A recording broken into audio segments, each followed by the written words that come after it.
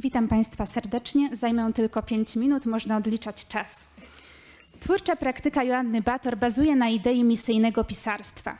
Jest zatem ściśle związana z troską, bo żeby realizować jakiekolwiek powołanie, najpierw trzeba zmartwić się. Człowiek, który dostrzega problem, zaczyna analizować ryzyko. Jest właśnie zmartwiony, zatroskany. Chce przecież uniknąć potencjalnych zagrożeń oraz ich konsekwencji. Wtedy pojawia się potrzeba działania, czyli następuje właściwy etap troszczenia się o kogoś, o coś albo o samego siebie. Dobre czyny wymagają bowiem autorefleksji i pozytywnych energii. Działania, o których mowa, przybierają różne formy, uzależnione od okoliczności i przede wszystkim od dostępnych narzędzi. Dla Joanny Bator powinnością i zarazem sposobem na wyrażanie troski stało się konstruowanie tekstów. Do aparatury należą zaś język, umiejętności twórczego i zarazem krytycznego myślenia oraz na przykład kulturowa wiedza. Pisarka wspominała niejednokrotnie, że chciałaby, aby jej utwory charakteryzowały się społeczną przydatnością. W tym celu autorka rutynowo zgłębia relacje między człowiekiem, naturą, kulturą i władzą, ujawniając ich skonstruowany charakter. Nie bez kozery pisarka, będąca kulturoznawczynią z wykształcenia, demaskuje krzywdzące stereotypy, ukazuje alternatywne modele funkcjonowania w społeczeństwie, a do tego podejmuje próby autoterapeutyczne.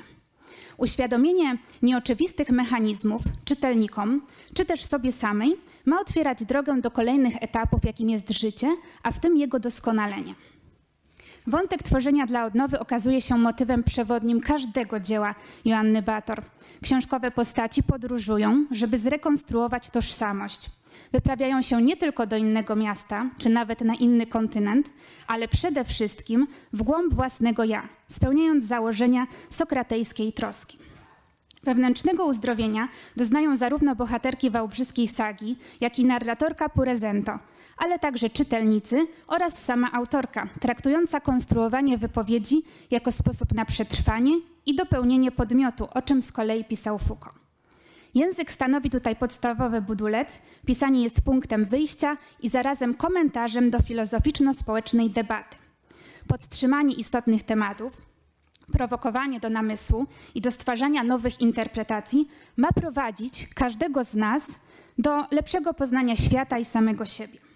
Sztuka jest w niniejszej optyce sposobem realizowania antycznych ideałów, między innymi takich jak klasyczna triada piękno, dobro i prawda, a pisarstwo praktykowane przez Bator przybiera, for, przybiera formę interdyscyplinarnej humanistyki interwencyjnej. W strategicznej, pisarskiej grze o wolność istotna okazuje się postać twórczyni, zatroskanej, społecznej negocjatorki, głoszącej takie oto słowa. Pisanie to nie jest zwykła rzecz. Masz władzę demiurga i alchemika. Z niczego stwarzasz coś. Z najgorszego doświadczenia możesz zrobić piękną i mocną rzecz. Naszą gościnię istotnie można porównać do alchemiczki, praktykującej jednocześnie naukę i sztukę. Alchemiczna praca w wydaniu pisarki antropolożki została zakorzeniona w materii języka, a jednym z motywów przewodnich, obok wyobraźni, buntu i współczucia, okazała się troska. O co i dlaczego troszczył się ją Anna Bator? Czym w ogóle jest dla niej troska? Oddajmy głos pisarce, aby mogła o tym opowiedzieć. Witam Państwa. Dziękuję Pani doktor za wprowadzenie, a także za intuicje, które E, bardzo trafne intuicje, które pojawiły się w nim i które zahaczają się o mój e, dzisiejszy e, wykład. Ostatni.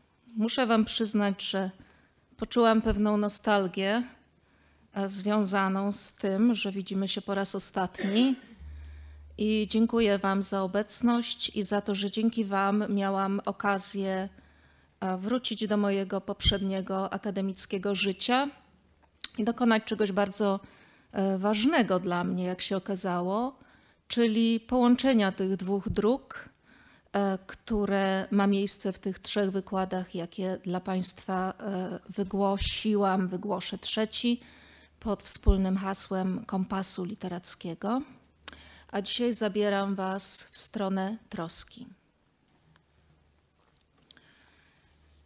Zaczynając od wyobraźni tworzącej dobre i złe golemy, przez współczucie jego buntotwórczą siłę, dotarliśmy do ostatniego spotkania poświęconego trosce. Wydawało mi się, że ten wykład będzie dla mnie najłatwiejszy. Myślałam, że podobnie jak przy poprzednich wystąpieniach, zaproszę Państwa na krótką wycieczkę śladami filozofów, tym razem zainteresowanych troską, a tych było wielu, że przypomnę sobie i Państwu feministyczne koncepcje troski, które zainteresowały mnie w czasach akademickich, a potem czekały na półce na swój czas, bo niektóre książki i tematy towarzyszą nam przez całe życie. Myślałam więc, że wrócę przy tej okazji na przykład do Carol Gilligan i jej książki Innym Głosem, która jest już po polsku, i opowiem o jej badaniach, w wyniku których opracowała opartą na emocjach i relacyjnej postawie koncepcję kobiecej etyki troski jako innej, stąd tytułowy inny głos, od męskiej etyki sprawiedliwości. Myślałam, że przypomnę Państwu dotyczące naszego tematu poglądy Rossi Braidotti, filozofki, którą spotkałam na końcu swojej akademickiej drogi, gdy podobnie jak ona wcześniej uświadomiłam sobie, że zwrot lingwistyczny i poststrukturalizm spod znaku Judith Butler przestają mnie interesować. Stało się jednak inaczej. Najłatwiejszy wykład stał się najbardziej wymagającym. Podczas pobytu w Grecji, z której właśnie wróciłam, zobaczyłam coś, co poruszyło moją wyobraźnię i wywołało bardzo wyraźny obraz literacki. Pamiętacie, jak mówiliśmy na wykładzie poświęconym e, wyobraźni o nagłości, totalnej nagłości, o tym, jak w niespodziewany sposób pojawia się obraz literacki, który nazywam też zahaczką. Tym, co zobaczyłam, była w połowie tylko żywa stara sosna, wczepiona w skały klifu widzianego z morza. Morze nazywa się Karpackie, naprawdę istnieje Morze Karpackie. Um, przywiodła mi na myśl ta sosna tańczącego Atsushiego Takenuchiego, japońskiego tancerza buto, często odwiedzającego e, Polskę. Atsushi Takenuchi jest chudy, żylasty i składa się z kości mięśni i skóry. Jest jednocześnie samym życiem, esencją życia i wygląda jakby przybył z krainy duchów, z krainy umarłych. Pomyślałam więc, że nadam temu wystąpieniu nieco inny charakter, bardziej szczegółowy, skupiony na pewnym ważnym dla mnie e, aspekcie troski. Mam na myśli konstrukcję najważniejszej persony dla pisania, czyli mojej narratorki. Skupię się więc głównie na tym, co Foucault za Sokratesem i Platonem, dziękuję za tę intuicję, Pani Angeliko, nazwał w trzecim tomie historii seksualności troską o siebie, rozumianą jako poznanie i samopoznanie przez umysł, ciało i duszę.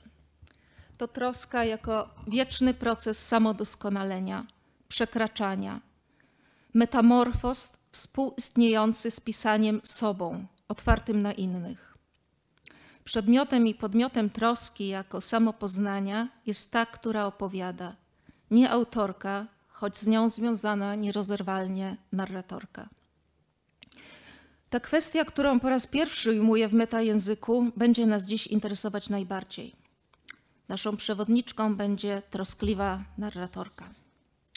Zacznę jak poprzednio od przypomnienia, co wydarzyło się przed miesiącem, by zachować myślową ciągłość naszych spotkań i by osoby, które trafiły tu po raz pierwszy, e, miały szersze spojrzenie na to, co się wydarzy. Jednocześnie będę wybiegać do dzisiejszego tematu, bo przygotowując go poczułam, jak mało mamy czasu i że ta przygoda zaraz się skończy. Naprawdę szkoda. Przynajmniej dla mnie. Chcę więc, by dziś pojawiła się i wyobraźnia, i współczucie. Bunt i troska, czyli cały kompas literacki, który był moją inspiracją dla tych spotkań. Mówiłam więc ostatnio o memie ze słowami przypisywanymi Margaret Mead, który stał się wiralem podczas pandemii. W tych słowach, niesłusznie przypisanych amerykańskiej antropolożce, za początek kultury uważa się współczucie, oparte na wyobrażeniu sobie bólu i lęku innej pokrewnej istoty. Zastanawialiśmy się, czy współczucie jest słabością czy siłą. Czy może zawsze zawiera te dwa elementy, z których wyrasta sprawczość, buntownicza sprawczość, chęć działania. Mówiłam, jak filozofia ujmuje nasze codzienne doświadczenie ze współczuciem, które może nas pozbawić sił, prowadzić do nihilizmu i stuporu, ale jeśli go przezwyciężymy, przywraca, przywraca sprawczość. Mówiliśmy też, odwołując się do doświadczenia aktywistek prozwierzęcych, że ta siła wymaga troski, ciągłego ożywiania. Wspomniałam o Szelerze, Maksie Szelerze i jego słowach, że zaangażowanie w cudze cierpienie nie musi się wiązać z paraliżującym zarażeniem cierpieniem. Bowiem mimo iż współczujemy komuś, to nadal postrzegamy jego ból jako coś zewnętrznego wobec naszego ja. Zewnętrznego, ale należącego do istoty takiej samej jak my. To uznanie tożsamości z inną istotą ludzką lub nieludzką jest warunkiem współczucia jako czystego uczucia pozbawionego poczucia wyższości. Myślę, że tak właśnie postrzega świat osoba troskliwa. Literatura otwierająca wyobraźnię poszerza zdolność współczucia i może dawać siłę, pomagać w buncie przeciw okrucieństwu i niemocy. Do takich wniosków doszliśmy ostatnio. Wspomniałam o dwóch filozofach, którzy dostrzegali wielką rolę współczucia: o Rousseau i Schopenhauerze, a także o jednym z cenionych przeze mnie pisarzy Haruki Murakamim. Ten ostatni jest autorem pięknego opowiadania, w którym bohater, Boku, nagle zauważa na swoich plecach biedną starą ciotkę. Obiekt współczucia, który dla każdego znaczy coś innego. Mieszane uczucia, jakie budzi biedna stara ciotka japońskiego pisarza, doprowadziły nas ostatnio do dwóch postaci literackich, symbolizujących radykalną wersję współczucia i wynikającej zeń sprawczości. Obie wiążą się z przejściem przez portal zwierzęcy, o którym Państwu wspomniałam i który ma w moim życiu i literackim, i codziennym bardzo duże e, egzystencjalne znaczenie. Pierwsza postać literacka, ważna dla współczucia i opartego na nim działania w moim wykładzie, to Batwoman z mojej ucieczki niedźwiedzicy. Poświęca się ona ratowaniu chorych i rannych nietoperzy całkowicie bezinteresownie, z troskliwym oddaniem, aż w końcu różnica ontologiczna i etyczna między nią a nietoperzami zanika. Zaczynają rozumieć nawzajem swój język. Na plecach kobiety kiełkują skrzydła i wkrótce unoszą je w powietrze. Muszę przyznać, że dziwne jest interpretowanie własnych y, literackich obrazów, ale w tym wypadku nie mogłam się powstrzymać. Drugą postacią y, jest Elizabeth Costello, postać z prozy Kuciego, pisarka i uczona, obrończyni praw zwierząt. Współczująca wyobraźnia, jej zdaniem, ma wywołać bunt i skłonić ludzi do troski o inne żyjące istoty. To przekonanie Costello jest mi bardzo bliskie. Podobnie jak ona wierzę w zmieniającą świat moc wyobraźni literackiej, bardziej niż w inny rodzaj dyskursu. Ludzie czytając stają się więksi. Ich życie poszerza się o stworzone światy, życia innych ludzi i zwierząt, o emocje i przeżycia, jakich być może nie doświadczyliby bez tej czy innej książki. Pojawia się więc pytanie, kto opowiada moje historie? To przecież ja i ktoś o wiele więcej niż ja. Ja i ktoś inny, kto pojawia się, gdy zaczynam opowiadać, a pozostaje w cieniu czy wręcz niebycie, gdy nie piszę. Jak przekonałam się całkiem niedawno, jestem dość szczególnym przypadkiem autorki i to odkrycie miało dla mnie wartość olśnienia, podkreślając świadomość tej innej persony, jaka pojawia się czy objawia, gdy zaczynam opowiadać. Na czym polega szczególność tego przypadku? Otóż na co dzień, w zwyczajnym życiu między książkami, nie piszę w ogóle, niczego. Nie prowadzę na przykład dziennika i sama myśl o zapisywaniu prywatnego życia z perspektywą publikacji wydaje mi się zbędna i nieprzyjemna. Nie zapisuję też wrażeń, przeżyć, pomysłów, ciekawostek do użycia na potem. Mam poczucie dwóch biegów mojego życia, które przełączają się automatycznie i nieświadomie. Nie pisząc, mogę oczywiście przygotowywać się, troszczyć się o swój umysł, duszę i ciało, tak by w chwili, gdy pojawi się opowieść, były gotowe do ciężkiej pracy, jaką jest pisanie. Ale nie mam wpływu na to, kiedy pojawi się zahaczka. Mówiłam Państwu o tym, jak zahaczka gorzko-gorzko pojawiła się podczas spaceru na cmentarzu w Unisławiu Śląskim. Tak jak Boku, bohater Murakamiego, doznał nagłej obecności biednej starej ciotki, tak ja poczułam, że oto Berta Koch już mnie nie opuści i będzie domagała się dużo uwagi. Był to również moment, kiedy pojawiła się ta, która opowiada, choć nie w pełni jeszcze zmaterializowana narratorka. To właśnie przy Gorzko Gorzko zrealizowałam intuicję twórczą, jaka towarzyszyła mi od dawna. Stworzyłam postać troskliwej narratorki. Umiałam ją nazwać. Opis tej postaci, do której zaraz przejdę, będzie jednak raczej kaskadą skojarzeń i metafor niż systematycznym akademickim opracowaniem, bo pierwszy raz próbuję przyjrzeć się jej z dystansu i przedstawić szerszemu gronu. Po ostatnim spotkaniu z Państwem i Waszych uwagach przyszło mi do głowy, że wspólnie odkryliśmy jedną z ważnych cech narratorki troskliwej. Jej życie toczy się między kontemplacją i ciszą, a zaangażowaniem pełnym buntu i niepokoju, trwogi, między niepisaniem w ogóle i pisaniem tylko. Troska i niepokój idą zawsze w parze. Choć sama troskliwa narratorka dąży do tego, by przez swoje działanie ten niepokój ukoić, dostarczając choć na chwilę katarzis, pokazując, że tak jak jest, być nie musi. Troska to zawsze ruch i niejednoznaczność. Z jednej strony dbanie, staranie, praca, ale też niepokój, rozedrganie, które dręczy. Według Sokratesa troska o siebie to zawsze troska o innych. Poznajemy i ulepszamy siebie z myślą o innych, z chęcią wejścia z nimi w dialog. Taki Sokrates pojawia się w uczcie Platona, a później u Foucault. Przechodzimy do podrozdziału, który ma tytuł Narratorka troskliwa. Powiedziałam Państwu, że narratorka Gorzko Gorzko pojawiła się razem z postaciami Winifredy i jej córki Berty, ale nie była jeszcze w pełni gotowa do działania, choć już na tym cmentarzu w Unisławiu Śląskim czuła pragnienie opowiadania. Każda osoba autorska musi podjąć decyzję, czy opowieść będzie się toczyła w pierwszej czy w trzeciej osobie.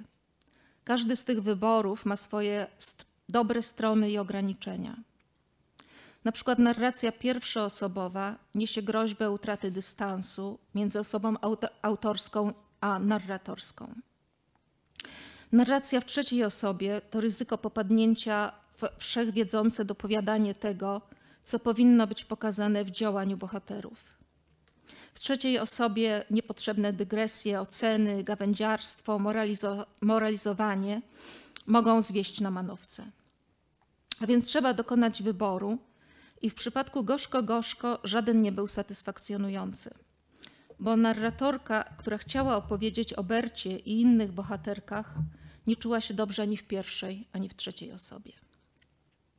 Momentem przełomowym w pracy nad tą książką było stworzenie narratorki, która swobodnie przemieszcza się między pierwszą i trzecią osobą, czasem nawet w jednym zdaniu. Moim celem było uczynienie jej tak wolną, jak to tylko możliwe, nieskrępowaną przez zastane reguły narracyjne. Wyobraziłam sobie, że jest kimś, kto raczej tańczy w powietrzu, niż przemieszcza się w ludzki sposób. Być może, wybaczcie mi to klisze, lata na miotle jak czarownica. Silna, zdecydowana, lecz także nieuchwytna zawsze gotowa do przekraczania granic, ruchliwa. Obdarzona dostępem do symbolicznego języka na swoich prawach, ale także dostępem do sfery semiotycznej, opisanej przez Julię Kristewę, o której mówiliśmy na pierwszym wykładzie poświęconym wyobraźni. Przekraczająca granice realizmu, czasu i miejsca autorki, ale zawsze bliska życia i codzienności. Dzięki podwojeniu wykraczająca poza małe ja, które dziś dominuje w wielości narracji świata i unikająca za wszelką cenę narcyzmu. Zatrzymamy się przez chwilę przy małych ja, które wokół nas snują miliony swoich małych narracji. Ja spragnionych widoczności i uznania, głodnych. Nie dążą one do samopoznania i samodoskonalenia, do przekraczania własnych ograniczeń, lecz tylko za wszelką cenę pragną bycia dostrzeżonym i polajkowanym. Dziś każde małe ja pragnie opowiedzieć swoją małą historię, która je choć na chwilę uprawomocni i wyłoni z oceanu innych małych ja pragnących uwagi. Myślę, że mamy w otaczającej nas nadprodukcji narracji do czynienia z dwoma głównymi rodzajami narcyzmu, e, zwłaszcza w opowieściach w pierwszej osobie. Mam tu na myśli i literaturę, i pragnienie zaistnienia przez opowieść realizowane powszechnie w sieci. Te dwa narcyzmy znane są również w psychologii. Mam na myśli narcyzm wielkościowy, ten tradycyjny, i narcyzm zwany wrażliwym, e, który można też określić jako niższościowy. Różnią się one mniemaniem opowiadającego ja na własny temat, ale oba stawiają ja, uważające się za wyjątkowe, w centrum opowieści. W pierwszym przypadku jest to ja uważające się za lepszy od innych. W drugim poczucie wyjątkowości opiera się na byciu w sposób interesujący gorszym od innym, wyróżniającym się wyjątkowym pechem, nieudałością, popełnianiem gaf i błędów, zapominalstwem, chorobą, nieumiejętnością wpasowania się w trend piękna, sukcesu i postępu. To urocze Ciamajdy, mistrzynie obciachu. Dwie narcystyczne osoby narratorskie łączy stała potrzeba aprobaty i uznania – oraz wspomniane poczucie wyjątkowości. Osoba narratorska reprezentująca narcyzm wielkościowy zdobywa więc jakieś dzikie krainy, przezwycięża trudności, wchodzi na wysokie góry, boksuje, popada w nauk i wychodzi z niego. Reszta świata służy jej jako tło, scena spektaklu ja, które pragnie być wielkie. Osoba narratorska reprezentująca narcyzm wrażliwy epatuje przygodami, w których ja przewraca się, zawodzi, zapomina, popełnia urocze pomyłki. Zbiedne, słabe, ale cute i zawsze w centrum uwagi. Mi się przypomniało e, z czasów japońskich, e, jednym z takich modnych luków był tak zwany luk zraniony. E, w dzielnicy Harajuku, która wtedy była mekką cosplayerek, młode dziewczęta chodziły z plastrami, z bandażami, które nie były im potrzebne, bo nie były fizycznie zranione. Chciały przedstawiać się jako istoty, które są wyjątkowe przez ten swój e, odczuwany ból, przez rany, których e, nie mają. Tak, koniec dygresji. To pierwsze narcystyczne ja częściej spotykam u bohaterów męskiego rodzaju. Drugie narcystyczne ja częściej pojawia się w formie żeńskiej na popularnych profilach w mediach społecznościowych i w literaturze obyczajowej skierowanej y, do kobiet. Oczywiście mam przykłady nazwisk, ale mm, mam też taką złożoną sobie wewnętrzną obietnicę, że y, jako pisarka nigdy nie wchodzę w rolę recenzentki y, kolegów i koleżanek po piórze.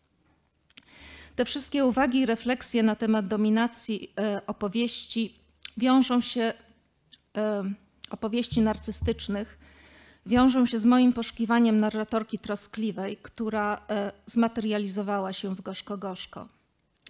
To także ona w nieco zmienionej postaci, bo metamorfoza i wykraczanie poza siebie to los osób narratorskich, przemawia wieloma głosami w ucieczce niedźwiedzicy. Chciałam, by troska o innych, czyli inne postaci, łączyła się w personie narratorki z troską o siebie w takim znaczeniu, jaki nadał temu wspomniany późny Foucault w trzecim tomie historii seksualności. pomoc w tworzeniu tej e, persony e, przyszła do mnie w nieoczekiwany sposób, bo w tańcu. I teraz przechodzimy do podrozdziału, który ma tytuł Gdyby opowieść była tańcem. Gdyby moja opowieść była tańcem, to, to jakim tańcem by była? Opowiem Państwu więc o takim no, bardzo intymnym, szczególnym momencie, w którym ukonstytuowała się w pełni e, persona, która opowiada i która będzie dalej opowiadać w moich książkach. W tamtym czasie chodziłam na warsztaty tańca buto. Tym, co mnie ujmuje w buto i co jest pożywne dla pisania, to absolutna wolność, którą napędza radykalna konieczność, wręcz nakaz przekraczania własnych ograniczeń, by znaleźć własny sposób ruchu łączącego ciało, umysł i duszę w tańczącą jedność. Wyobrazić sobie opowieść jako taniec łatwiej, gdy mamy na myśli taniec tradycyjny, gdzie opowieść składa się z pewnego zasobu skodyfikowanych ruchów. Są więc sylaby, one składają się w wyrazy i zdania. Oczywiście każda osoba zatańczy trochę inaczej, ale zrobi to w ramach przyjętej konwencji, zrozumiałej i oswojonej przez innych tancerzy i ewentualnych widzów. W tle będzie grała muzyka, wyznaczając wspólny rytm znany przez tancerzy. W buto nie uczymy się kroków. Nie ma jednej odpowiedniej muzyki do buto, ale może nią być szum fal, dźwięk lasu albo tylko cisza i oddech. Buto w najszerszym znaczeniu jest eksploracją więzi ciała, umysłu i duszy poprzez ruch, performance. Jest to performance tworzący opowieść, wymagającą wejścia w zupełnie inny świat, przekroczenia własnych ograniczeń, otwarcia na nieznane, na gotowości na wstrząs. W tym sensie właśnie otwiera mi się metaforyczna pożywność buto dla performansu, jakim może też być narracja powieściowa. Powiem Państwu w kilku y, słowach y, o buto, skąd wziął się ten taniec i troszkę jeszcze więcej o tym, na czym on polega, chociaż trudno jest opowiedzieć buto. Taniec buto narodził się w Japonii po II wojnie światowej, więc właściwie na gruzach Japonii, z bardzo różnych wpływów. Między innymi europejskiego ekspresjonizmu, lokalnych praktyk sintoickich i szamanistycznych, z ducha zen.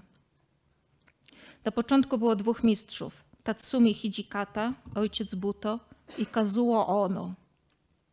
Moje serce zawsze skłaniało się ku temu drugiemu, mm, Kazuo Ono, który w sposób niewiarygodny y, przekraczał granice płci. Y, nie przez kostium, nie przez makijaż, ale przez performance.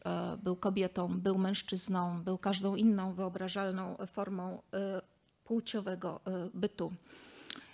Zmarł w wieku stu kilku lat i jeszcze na łożu śmierci, jak głosi legenda, tańczył już tylko samymi dłońmi. Myślę, że to jeden z najpiękniejszych sposobów, żeby umrzeć, tańcząc. Um, kluczowym słowem do zrozumienia buto jest buto tai, czyli ciało buto.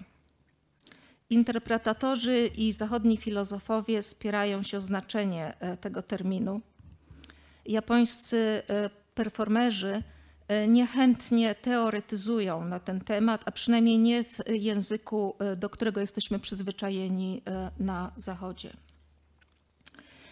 Esencja ciała buto, jaką wydobyłam dla siebie, czyli dla tego, co łączy ten taniec z pisaniem, jest następująca. Ciało buto to rodzaj postawy psychicznej i duchowej, łączącej dualizm świadomości i nieświadomości symbolicznego i semiotycznego, podmiotu i przedmiotu, kobiecości i męskości, opowiadającego ja i świata narratorki.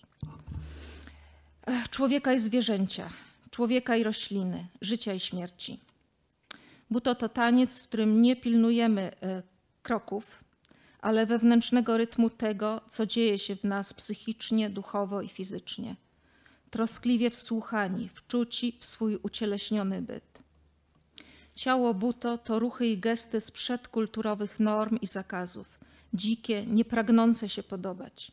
To ciało sprzed symbolicznego języka, jak można powiedzieć, językiem Julii Kristewy, czyli językiem zachodniej filozofii. Nazywany tańcem ciemności, tańcem oddającym ducha zen, tańcem życia i śmierci, buto polega na tym, by pokazać proces narodzin i ubierania, który jest wiecznym cyklem natury, gdzie to, co żywe, jak człowiek, skazane jest na wyjątkowo szybkie przemijanie. Tancerze są prawie nadzy, posypani białym pudrem, który w trakcie performansu opada, kurzy. Podstawowe ćwiczenia polegają na rozpadaniu się w nicość i konstytuowaniu się od nowa oraz na ciągłym przekraczaniu granic własnej mimiki i ruchu. Na przykład wyobrażamy sobie, że jesteśmy galaretowatym zaczynem życia kołysanym przez fale, które w końcu wyrzucają nas na brzeg. Spróbujmy ucieleśnić taką galaretę, zatańczyć to. Powoli zaczynamy czuć ziarenka piasku, ostre kawałki muszelek. Z galaretowatej masy wyrastają zalążki rąk i nóg i tak dalej. Czołgamy się, nieporadnie próbujemy się podnieść. W końcu podnosimy się i zaczynamy iść krokiem zerowym, a złota nić unosi naszą głowę ku niebu. Tańczymy. Zaczepieni, ale wolni, można by powiedzieć, trawestując słowa Virginia Woolf, która powiedziała rooted but free w powieści Fale. Moją inspiracją do narratorki Gorzko Gorzko było jednak przede wszystkim inne ćwiczenie zadane do domu. Trzeba było stanąć przed lustrem i wykrzywiać się w sposób, jakiego nasza twarz nie znała przedtem. A może znała, zanim staliśmy się istotami językowymi. Tutaj znów wracamy do sfery semiotycznej Julii Kristewej i, i min, jakie może robić dziecko, które jeszcze nie nauczyło się, że tego to wolno, a tego nie wolno, że to jest ładne, a to jest brzydkie, że dziewczynka tak nie powinna i tak dalej. To bardzo wyzwalające ćwiczenie. Myślę, że zwłaszcza dla kobiet wychowanych w dyskursie pięknego ciała, miłej, uśmiechniętej twarzy. I gdy tak się wykrzywiałam, to podwojenie spowodowane przez lustrzane odbicie uświadomiło mi obecność, której oczekiwałam. Moja narratorka to ja i ona w lustrze. Pierwsza i trzecia osoba, ale też druga, bo mogę do niej powiedzieć hej ty i wejść z nią w dialog. Tak zmaterializowała się persona, którą nazwałam troskliwą narratorką. Jednocześnie zna reguły i ma je za nic, gdy wydają się zbyt sztywne. Potrafi mówić z chłodnym dystansem trzeciej osoby i zbliżać się do wydarzeń, uczestniczyć w nich w pierwszej. Może troszczyć się o wszystkie postaci narracji i zyskać odpowiedni dystans, by zatroszczyć się o siebie. Jednak nie wyobraziłam sobie, że narratorka jest po prostu mną albo tylko Kaliną z Gorzko Gorzko, bo każdy taki obraz myślowy byłby ograniczający. Mogła być mną na chwilę albo jedną z postaci, ale to nie wszystko, co można o niej powiedzieć. Kiedy skupia się na trosce jako samopoznaniu w znaczeniu Foucault, tańczy buto. Ale to też nie cała ona, bo przecież także krząta się, jest wręcz pochłonięta tą krzątaniną, zwykle kojarzoną z kobiecością i kobiecymi przestrzeniami. Kiedy wizualizowałam ten aspekt troskliwej narratorki, przyszła mi do głowy inna postać, dość zaskakująca w, dla mnie samej w kontekście moich literackich i filozoficznych zainteresowań i skłonności. E, to wcielenie mojej troskliwej narratorki ma na imię Marta.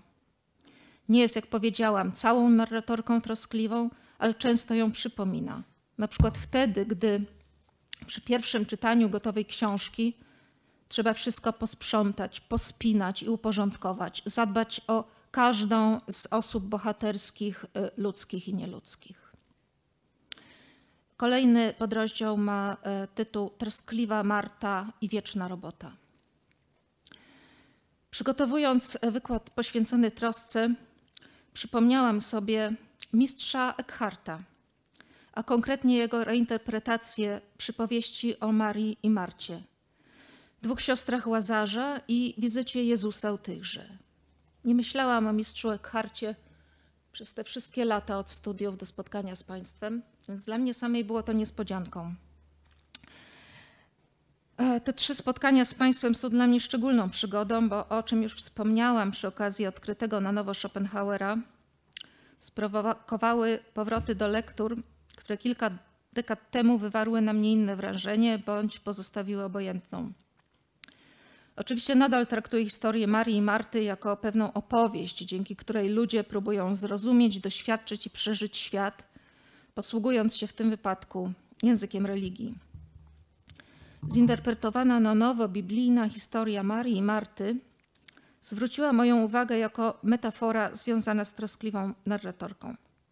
Mistrz Eckhart nawiązuje do opowieści o dwóch siostrach Łazarza, które w różny sposób zachowują się podczas wizyty Jezusa, e, który wpadł do nich w drodze do Jerozolimy. Maria siedzi u jego stóp w bezruchu, wsłuchana, pogrążona w kontemplacji, podczas gdy Marta nieustannie biega w koło, czujna, ruchliwa, zaaferowana, a jednocześnie skupiona na tym, czy komuś czegoś nie potrzeba, czy wszyscy dobrze się mają podczas wizyty dostojnego gościa. Według interpretacji religijnych siostry różni podejście do wiary i to kontemplacyjna postawa Marii ceniona była wyżej, zanim mistrz Eckhart docenił ruchliwą, uważną i pełną troski Martę. Martę, która jednocześnie jest tu i tam, nie narzucająca się, ale niezbędna, zaangażowana duszą i ciałem. Krewną literacką tej Marty jest jej imienniczka z nadniemnem, Marta Korczyńska, zapracowana kobieta, wzdychająca co róż, wieczna robota – i teraz sobie uświadomiłam, że to ona chyba była e, wcześniej w tej metaforze dotyczącej mojej narratorki troskliwej, dlatego że od czasów licealnych ten tytuł Wieczna robota e, żyje w moim języku prywatnym i wzdycham w ten sposób, kiedy właśnie mam coś do zrobienia. Świadczy też o tym, że jednak na młodzieńczy umysł klasyka może wywrzeć tak niezatarty wpływ w pewnych przypadkach. Jeśli wizytę Jezusa porównamy do pojawienia się pierwszego, otwierającego narrację obrazu literackiego, ta ruchliwa, zatroskana narratorka, pragnąca doglądnąć wszystkiego, zadbać o wszystkich, staje się moją troskliwą Martą, troszczącą się o wszystkie ludzkie i nieludzkie osoby bohaterskie. Jak wspomniałam, troski o osoby bohaterskie nie ma bez troski o siebie, czyli opiszące ja w całym bogactwie jego metamorfoz i polifonii. Można powiedzieć, nawiązując do naszego pierwszego wykładu, że w zdrowym, otoczonym troską ja mieszkają dobre golemy. Wrócimy więc teraz do troski o siebie i jej filozoficznego rozumienia, które leży u podstaw troskliwej narratorki. Czyli w tym momencie będziemy bliżej tej, która e, tańczy buto, a nie krząta się jak Marta. I ten mm, podrozdział ma tytuł Poznaj samego siebie i troszcz się. Samą siebie napisałam, brawo. Poznaj samą siebie i troszcz się o siebie. E, w konstrukcji troskliwej narratorki pomógł mi Foucault, czy raczej jego późne przedśmiertne wcielenie, które w czasach doktoranckich kompletnie e, pominęłam. Przyznaję to z żalem, ale to przedśmiertne wcielenie Foucault zupełnie mi nie pasowało do koncepcji. W późnej filozofii Foucault, określanej jako estetyka istnienia, filozofia to ćwiczenia siebie w myśleniu, ale też doświadczaniu i przeżywaniu. A tym jest i filozofowanie, i pisanie. Chodzi o ćwiczenie siebie jako ciało duszy, pewnej całości, rozumiane jako praktyka duchowa obejmująca całe ja, duszę i ciało. Praktyka zmierzająca do zmiany, do metamorfozy, do wznoszenia się, uwalniania, poszerzania horyzontu myśli, doświadczenia, przeżycia i pragnienia. Ta praktyka nie ma charakteru linearnego, nie jest taką dostojną, stopniową drogą w górę. Potknięcia, kroki w tył są częścią tego procesu uwalniania ciała duszy ze struktur wiedzy władzy, jak nazwał to Foucault, choć nigdy w pełni wolne nie będzie. Zawsze mamy tę świadomość, że ten proces uwalniania się, wznoszenia e, jest takim działaniem heroicznym. Nigdy do końca nie będziemy wolni, ale mimo to warto próbować. Nawet jeśli nie można zmienić od razu struktury wiedzy władzy, można zmienić samą siebie poprzez nieustanne dążenie do prawdy o sobie. Taka jest ostrożnie optymistyczna konkluzja z późnego Foucault. Filozofować i pisać znaczy tu raczej żyć mądrze niż produkować filozoficzne teksty. I te słowa wydają mi się mm, szczególnie ważne w e, stosunku do pisania literatury.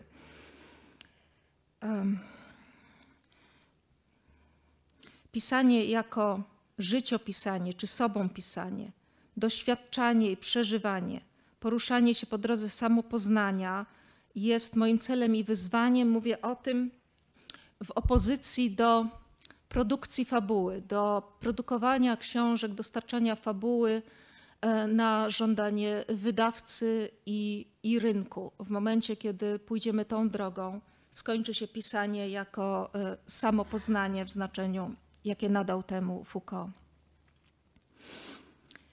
Jest się więc tu w trosce o siebie artystką swojej egzystencji, kształtując swoje życie tak, by było piękne i dobre. Znowu pani Angeliko, dziękuję. Tak, taka więź. Podobnie jak w starożytności, którą francuski filozof studiował tak dogłębnie, filozofia późnego Foucault jest połączona z duchowością. Filozofuje się i pisze nie tylko po to, by poznać, ale też by doświadczyć, przeżyć, połączyć się z czymś większym niż własne ja, własne małe życie. Chodzi tu o styl pracy nad sobą, ćwiczenia swojego ja, które angażuje całą egzystencję. Nie tylko wtedy, gdy się akurat filozofuje czy pisze, ale też wtedy, gdy się biesiaduje, uprawia sport, kocha, spotyka z przyjaciółmi, tańczy. Celem tego zapożyczonego ode mnie od Foucault przekształcania ja, przekraczania siebie są dobre golemy, w tym sensie, w jakim piękno u starożytnych Greków łączyło się z dobrem. Do tego potrzebna jest mądrość, o której wspomniałam, mówiąc o mądrym życiu. Jeden z najważniejszych e, filozoficznych rozmówców Foucault, Pierre Adot, w książce Filozofia jako ćwiczenie duchowe, przypomina, czym jest mądrość według starożytnych. Jest to po pierwsze pokój duszy, po drugie wewnętrzna wolność, i po trzecie, poczucie przynależności do czegoś większego niż ja, do ludzkiej i kosmicznej całości. U późnego Foucault podmiot nie jest już tylko wytworem sieci dyskursów wiedzy władzy, ale zyskuje autonomię i kreatywność. Polem tej kreatywności jest budowa własnej tożsamości przez poznanie i troskę o siebie jako byt cielesny, psychiczny i duchowy. Te troskliwe praktyki siebie, jak nazywa to Foucault, to obszar wolności podmiotu. Tu, mimo tego wszystkiego, co nas ogranicza w postaci dyskursu nacechowanego władzą, da się coś zrobić. Na zasadzie, nieco trywializując, świata nie zmienisz od razu, ale możesz siebie. Według Foucault w ten sposób tylko można dotrzeć do prawdy. Foucault ze słów starożytnych poświęconych trosce o siebie wydobył kilka najważniejszych rzeczy. Poznanie siebie po pierwsze jako forma troski i jej spełnienie. Po drugie, poznanie siebie jako najwyższy wyraz troski o siebie, otwierający dostęp do prawdy. I po trzecie, troska o siebie i dostęp do prawdy, umożliwiający rozpoznanie cząstki bo boskości w sobie.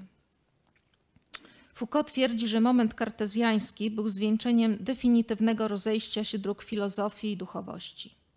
Wspomniany Adot uważa, że stało się to wcześniej, w średniowieczu, gdy filozofia stała się służką teologii. To, czego nie da się zrobić w języku filozofii, może moim zdaniem literatura, łącząc ciało, umysł i duszę w poszukiwaniu prawdy o sobie i więzi z innymi. Troskliwa narratorka, którą Państwu dziś przedstawiłam, ma właśnie taki cel. Chciałabym, byście ją sobie dziś wyobrazili jako tańczącą w tekście nagą postać posypaną białym pudrem, obecną, ale prawie niewidoczną, w wiecznym ruchu. ale też jako Martę przepasaną fartuchem, silną i skupioną, biegającą między gośćmi i skupioną na ich potrzebach raczej niż na sobie. Istotą, jak wspomniałam, tak pojętej przeze mnie osoby narratorskiej jest metamorfoza, wieczna zmienność. A więc w innych moich książkach, pozostając troskliwą, może przybrać zupełnie inne postaci. I ostatni podrozdział, który ma tytuł Między zaangażowaniem a terrorem e, rzeczywistości. Niemiecki filozof współczesny Peter Sloterdijk w stresie i wolności, bardzo ładna, polecam Państwu, mała książeczka, wspomina Rousseau, filozofa, który był również bohaterem tych wykładów.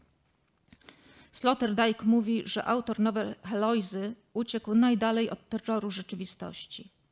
W piątej części Marzeń samotnego wędrowca jest słynna scena, której autor wypływa łodzią na jezioro i tam, leżąc na dnie tej łodzi, poddaje się wewnętrznemu dryfowaniu, poddaje się marzeniom, pozwala sobie na doskonałe zanurzenie się w tu i teraz, które jest momentalną tylko wolnością, ale wolnością byciem tylko ze sobą, skrajnie indywidualistycznym i odłączonym.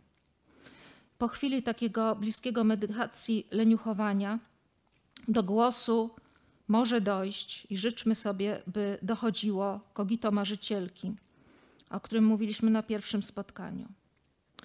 Podczas wspomnianego pobytu w Grecji miałam okazję doświadczyć i tego, i nagłych narodzin obrazu literackiego, z którego powstał ten wykład.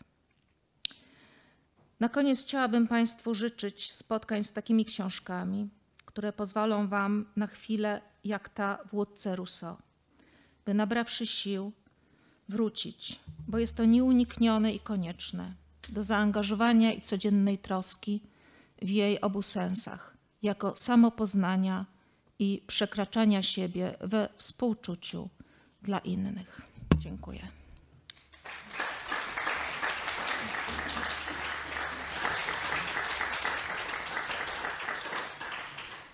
Zgodnie z programem e, dzisiejszego wykładu będziemy mogli zadawać teraz pytania e, naszej gościni. E, pani Anna odpowiedziała już na większość moich pytań. Dziękuję. To może jak było na Karpatos? Pani opowie. To łącząc to z treścią tego wykładu i z troską o siebie, tego rodzaju ucieczki są bardzo cenne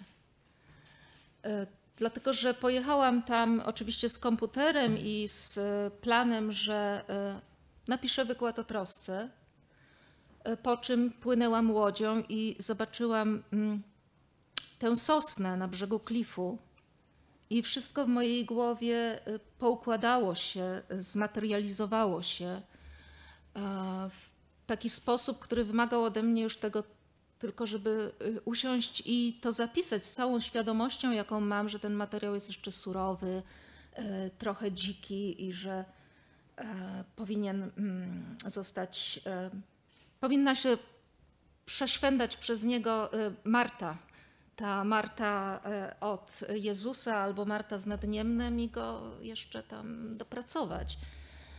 Natomiast wydarzyło się w moim procesie samopoznania, mówiąc o tym, innym pojęciu troski, jako troski o siebie, coś, co y, sprawiło mi radość. Y, tak właśnie w sensie dowiedzenia się o, o sobie y, i o tej personie, która jest mną i nie jest mną, bo jest kimś o wiele bardziej interesującym i większym, o mojej narratorce.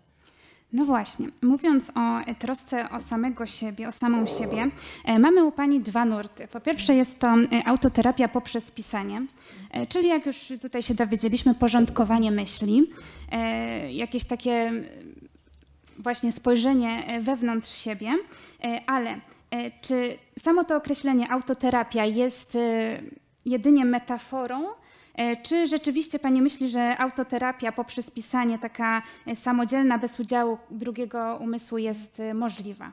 W tym procesie pisarskim. Jak pani Angelika już pewnie wie, czy pamięta z naszych spotkań, w ogóle ta kategoria mm, jest mi obca w odniesieniu do pisania. Nigdy nie traktowałam pisania jako y, terapii czy autoterapii. Samopoznanie jest czym innym niż stwierdzenie, że y, jestem chora i chcę się wyleczyć, zapisując swoje małe dramaty. Więc raczej skupiłabym się na mówieniu o samopoznaniu w moim przypadku. Uważam jednak, że istnieją takie jednostki ludzkie, takie y, osoby autorskie, które potrafią opowiedzieć swoją traumatyczną historię w sposób e, łączący ich z innymi i jednocześnie e, zwiększyć swoje samopoznanie czy poczuć się lepiej.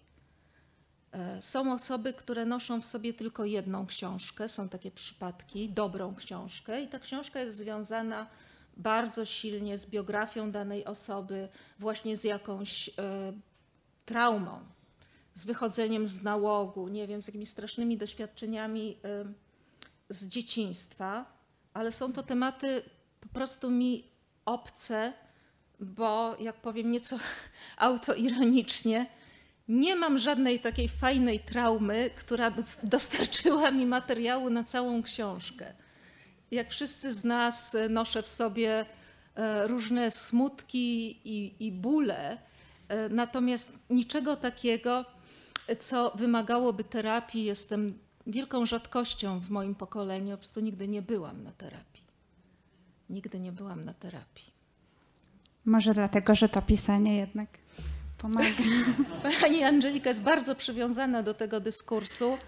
E, znaczy, można też powiedzieć, że napisałam doktorat no, jako autoterapii, ale myślę, że raczej e, pozostanę przy swojej wersji towarzyszącej mi od najwcześniejszych czasów potrzeby samopoznania i być może jeszcze silniejszej potrzeby przekraczania. Pamiętam, jak jeszcze w czasach wczesnostudenckich e, z bólem, ale czytałam po niemiecku tekst filozofa Georga Zimla, który e, do tej, do tej pory jest mi jakoś bliski. I tam było takie piękne niemieckie słowo, którego już nie pamiętam, tak wiecie, jak to Niemcy robią słowa, że tam zlepią różne i powstaje jedno fajne. I tam było napisane, że człowiek jest urodzonym przekroczycielem granic. To pewnie pani dziekan. O, dokładnie. I tak mi się to, że ja też jestem takim ube, u, uro, urodzoną e, Schreiterin by było, tak? Grenz, y, Grenz, Grenzüberschreiterin. O. Więc ja jestem urodzoną przekroczycielką granic. E, to jest coś, co mi e, towarzyszy i będzie towarzyszyć e, e, zawsze. Stąd mówiąc o tej konstrukcji narratorki troskliwej, od razu zastrzegałam, że przy innych książkach, jeżeli jeszcze jakieś napiszę, ona będzie przejmowała inne postaci, będzie ulegała kolejnym metamorfozom. Będą przychodziły mi inne metafory do głowy, żeby opisać, kim ona jest. Już nie tylko tańczącą buto bezimienną kobietą, nie tylko Martą e, od mistrza Eckharta i e, z Nadniemnem, e, tylko jeszcze, jeszcze przekroczy kolejne, kolejne granice. Dziękuję za to słowo, teraz już je zapamiętam. To skoro mowa o troskliwej narratorce, mam tutaj taką małą układankę mhm. dla pani, nawiązującą do Gorzko Gorzko. Barbara nie umiała się trosz... Yy, przepraszam, Berta zatroszczyła się o samą siebie, ale nie zatroszczyła się o córkę na przykład. E, Barbara nie umiała się zatroszczyć o siebie, ale troszczyła się o Kalina. E, jednocześnie ogólnie była zatroskana z różnych względów, czyli dominowała u niej troska, a u Berty dominował bunt. E, Violetta nie umiała się troszczyć ani o siebie, ani o innych. E, z pewnością miała bujną wyobraźnię, ale nie potrafiła obrać właściwego kierunku. I jest to postać beznadziejna yy, z jednej strony, ale potrzebna w układance. Bo Kalina już zatroszczyła się i o siebie, i o innych, gdyż miała cały kompas. E, najpierw zacznę od tego, czy jest jakaś nadzieja dla Violetty, czy może się coś jeszcze z nią stać. Wiemy, że odwiedza grup Barbary, ale co to znaczy, czy coś się zmieniło? Mhm. Ja, ja wiem, że Violetta bardzo e, moje osoby czytające e, dręczy i stąd pojawiła się w ucieczce Niedźwiedzicy, e, dlatego że narratorka, troskliwa narratorka Gorzko Gorzko odczuwała pewien dyskomfort związany z tym, że Violetcie nie udało się. Że ani nie była zatroszczona, ani nie udało jej się właściwie o nikogo zatroszczyć, i taką szansę dostała w hotelu Sudety. Taki mały krok zrobiła na tej drodze samopoznania. Trafiła w miejsce, z którego nie chciała od razu uciekać i e, zajęła się tam e, wyglądem mieszkańców siódmego piętra. Ja, będąca, jak już Państwu powiedziałam, w pewnym sensie częściowo narratorką troskliwą, ale nie całą, nie do końca, e, poczułam w związku z tym jakiś rodzaj katarktycznej satysfakcji, że na tej drodze ku trosce nikt nie został pozostawiony sam sobie. Dziękuję. E, odnośnie e, tej umiejętności Kaliny e, do właśnie troszczenia się i do opowiadania jednocześnie. W powieściach dyskretnie waloryzuje Pani kulturoznawczą wiedzę. Absolwentkami czy też absolwentami tego kierunku są postaci osiągające w życiu szczęście, a przynajmniej potrafiące do niego dążyć przez zbieranie opowieści właśnie. Ci bohaterowie, w tym Kalina, znajdują swoje miejsce w świecie, dochodzą do istotnych prawd, E, I ciekawe jest to, że właśnie Violetta, pozostając niespełnioną, zazdrości absolwentom kulturoznawstwa.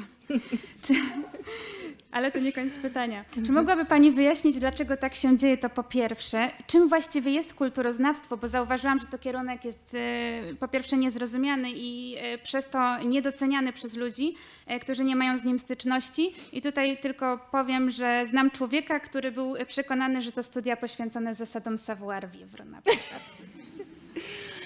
Nie był taki odosobniony. Pamiętam początki, studiowałam kulturoznawstwo na Uniwersytecie Wrocławskim.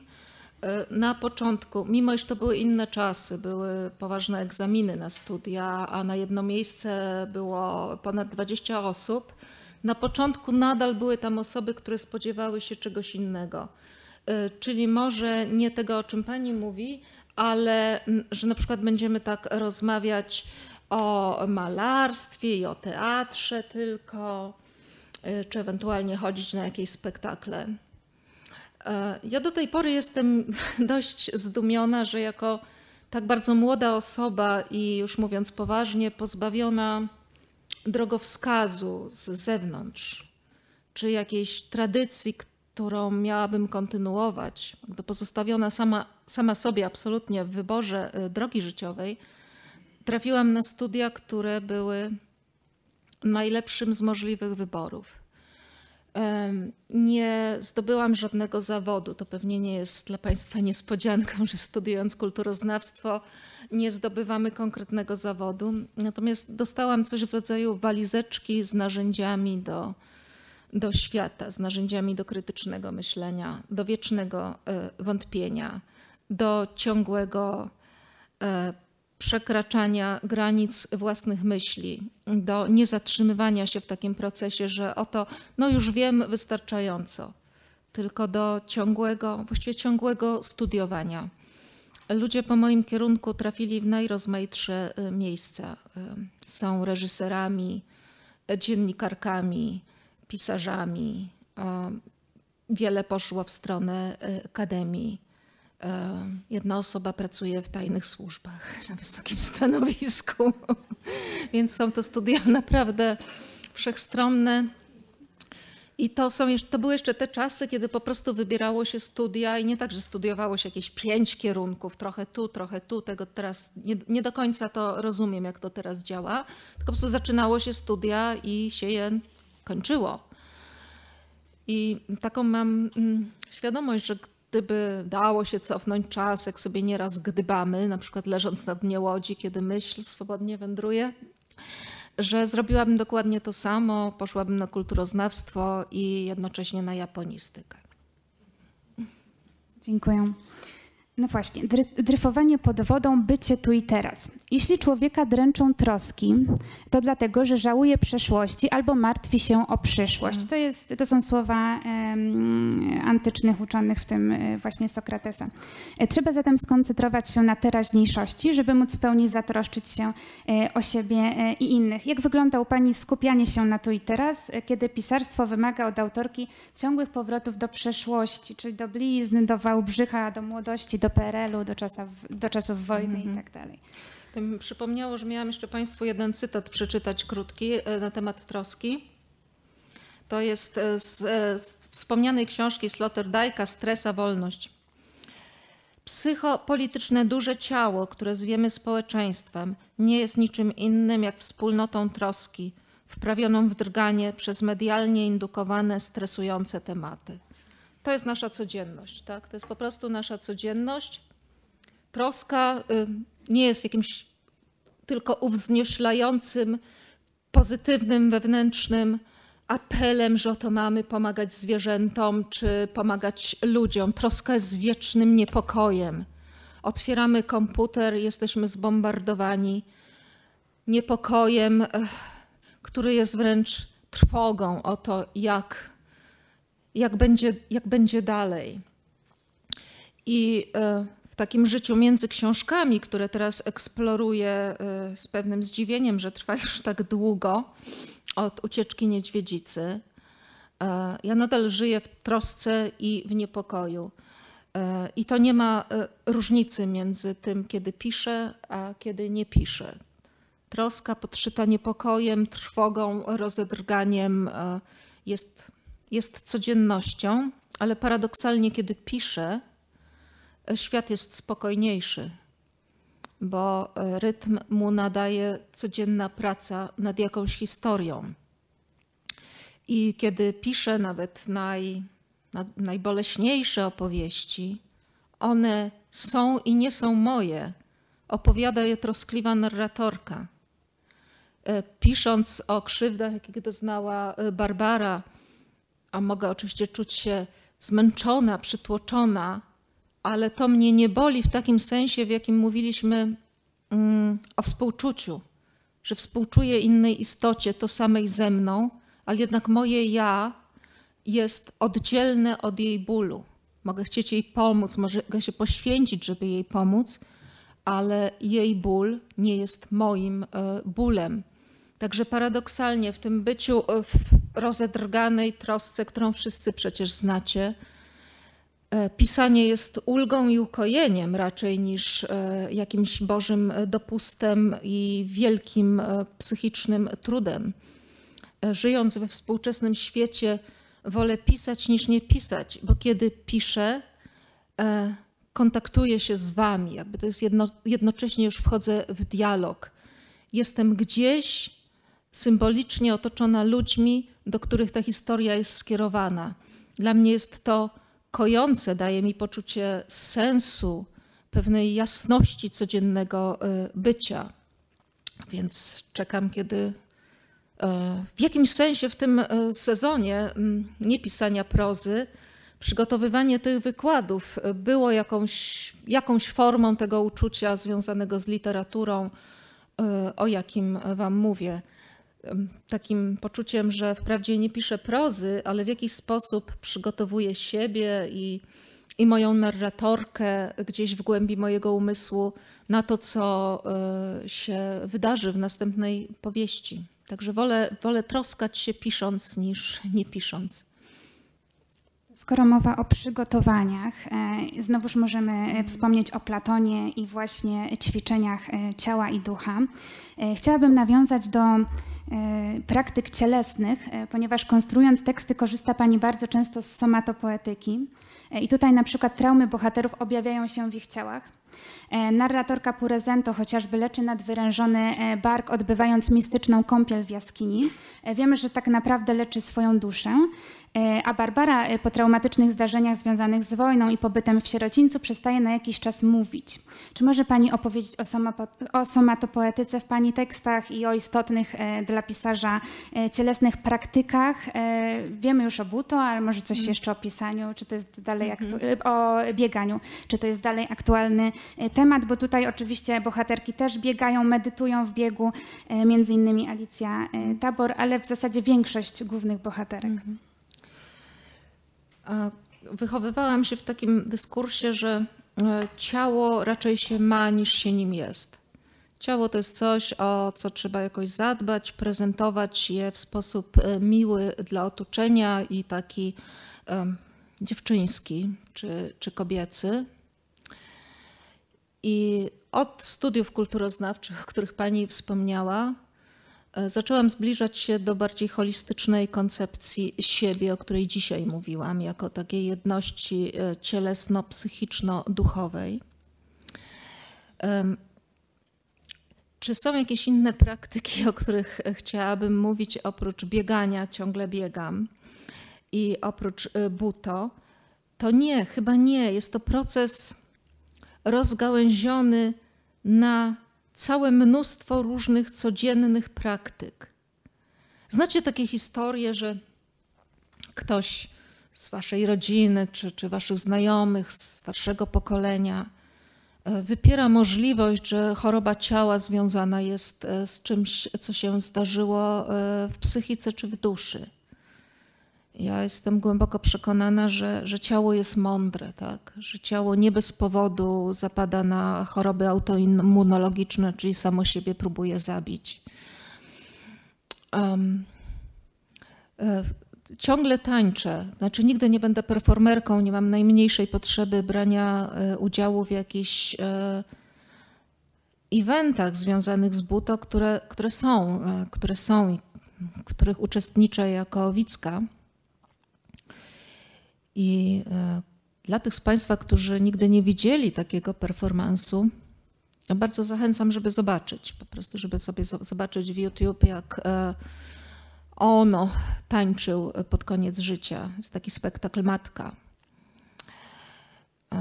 Ale w żaden sposób nie uważam, że moje życie jest idealne, czy że doszłam do jakiegoś cudownego połączenia psychiki, ciała i duszy tak jak wspominałam mm, za Foucault, to jest, to jest proces, który nie jest linearny. Czasem może się wydawać, że, że przekroczyliśmy już, już weszliśmy na jakąś górę i dalej będą już tylko wyższe góry, a potem się okazuje, że trzeba e, zjechać w dół, że trzeba cofnąć się. A tak to wygląda w e, codziennym życiu. Wspomniała Pani spektakl e, o tytule Matka. Troska jest często przejawem miłości, ale jej przesadna forma może wyrządzać krzywdy. W Pani utworach spotykamy się z nadopiekuńczymi matkami, które nieświadomie krzywdzą swoje dzieci. Skrajnym, przerażającym wręcz przypadkiem jest Maria, mama Mareczka z Ciemno prawie noc, karmiąca dorosłego e, syna piersią i dopuszczająca się e, zbrodni w trosce o niego właśnie. A mniej drastyczne, ale nadal dojmujące okazuje się zachowanie Jadzi Chmury, która za wszelką cenę chce zatrzymać Dominikę na Piaskowej Górze. E, skąd taki motyw w Pani twórczości? Czy ma on związek i na ile z teoriami przedstawicielek drugiej fali feminizmu? W pokoleniu e, matek, mojej biologicznej, prawdziwej matki, e, nadopiekuńczość występuje bardzo często. To jest doświadczenie, które dzielę z wieloma innymi kobietami w moim wieku. To są matki, które urodziły się tuż po albo e, w czasie e, II wojny światowej, które nie znały bezpieczeństwa, które tak jak e, moja matka znały strach i głód, półsieroctwo. I ta straszliwa chęć zawładnięcia dzieckiem rozumiana jest przez nie jako, jako miłość. Tymczasem nadopiekuńczość jest formą przemocy, tak jest definiowana we współczesnej psychologii, bo nadopiekuńczość odbiera wolność. To jest jedna z najgorszych przemocy, jakie mogą e, spotkać człowieka, małego czy dużego. I ten przykład matki Mareczka e, właśnie jest e, mm, literacką, literacką formą opowiedzenia o tych realnych matkach, które poznałam w swoim życiu albo osobiście, albo z opowieści innych kobiet. Jadzia jest taką wersją soft. Mhm. U Platona troszczyć się o siebie to porzucić zamartwianie się tym, co jest niezależne e, od nas. E, według niczego zmartwienia tłumią troskę o siebie. No i właśnie jak to połączyć, e, jak złapać dystans wobec zewnętrznych rzeczy, które nas trapią. Czy jest taki dystans w ogóle możliwy, jak to wygląda w praktyce pisarskiej? Może o tym coś więcej Pani powiedziała? Przychodzi mi teraz do głowy taka książka, o której przeczytałam przed Zanim wsiadłam w samochód, żeby do Państwa przeczytać, Philip Springer napisał książkę Nie wiem, która jest serią wykład, wywiadów e, z różnymi ekspertami, ekspertkami. E, I, I, właśnie nie wiem, tak? Nie wiem, to by była moja odpowiedź, i wydaje mi się w koncepcie tej książki wspaniałe, że daje on tym ludziom, z którymi rozmawia, prawo do powiedzenia nie wiem. Nie wiem, dlatego że ja dzisiaj bardzo rzadko odczuwam spokój taki e, spokój bycia tu i teraz. Są takie chwile, są cenne, ale zdarzają się e, rzadko. E, co dzisiaj zrobić, żeby być szczęśliwym i spokojnym, być zdrowym, sytym i głupim? To teraz o byciu sytym. Wspominając poprzedni wykład o współczuciu, nawiążę ponownie do zwierząt. W mhm. ciemno prawie noc bohaterowie będący uosobieniem zła krzywdzą zwierzęta i odwrotnie. Dobre postacie o zwierzęta dbają. Mamy tutaj do czynienia e, z prostym, ale jakże wymownym, baśniowym obrazowaniem. I dodam, że główne bohaterki pani książek najczęściej są wegetariankami, a przesadnie troskliwe opiekunki dokarmiają podopiecznych mięsnymi posiłkami. Konkretnie są to klopsiki albo skrzydełka z kurczaka. E, mięsożerność staje się też symbolem e, istotnym w roku królika i gorzko-gorzko. Przypomnijmy, że Berta specjalizuje się w tworzeniu wyrobów mięsnych, a później, e, trochę spoilerując, ale myślę, że skoro Państwo tu przyszli, to, to czytali książki pani Jonny, później ćwiartuje własnego ojca. Czy mogłaby Pani opowiedzieć więcej o mięsożerności w Pani książkach, w Pani życiu i o trosce powiązanej z prozwierzęcą praktyką? Oczywiście wiele rzeczy, mówiliśmy o tym na pierwszym wykładzie, wiele rzeczy w tekście dzieje się na tej mm, cienkiej granicy, membranie między nieświadomością i świadomością. E, więc nie jestem wszystkiego świadoma i nie potrafię o tym powiedzieć e, w takim e, spójnym metajęzyku. Natomiast doświadczenie portalu zwierzęcego, o którym Państwu wspomniałam, stało się jednym z najwyrazistszych, najważniejszych e, doświadczeń e, w moim życiu, wiążącym się także z przejściem w kierunku e, no już weganizmu. Czymś, czego człowiek się po sobie nie spodziewał. I to nie jest tak, że po prostu zmieniłam dietę. Zmienił się mój sposób pisania i mój sposób doświadczania i przeżywania świata, w którym są już nie tylko osoby ludzkie i zwierzęta, lecz osoby ludzkie i osoby y, zwierzęce. Myślę, że nigdy tego nie robiłam, ale kiedy y, pisałam pierwszą powieść Piaskową Górę, y, jadłam jeszcze mięso, które zresztą w ogóle bardzo lubiłam. Dzisiaj wydaje mi się to absolutnie niewiarygodne. Tak? Mięso nie jest dla mnie jedzeniem. I kiedy o tym mówię, nadal się dziwię, że taka zmiana w człowieku może zajść y, w tak radykalny y, sposób. Oczywiście nas jest więcej, tak? Na imprezach branżowych już nikt nie podaje mięsa.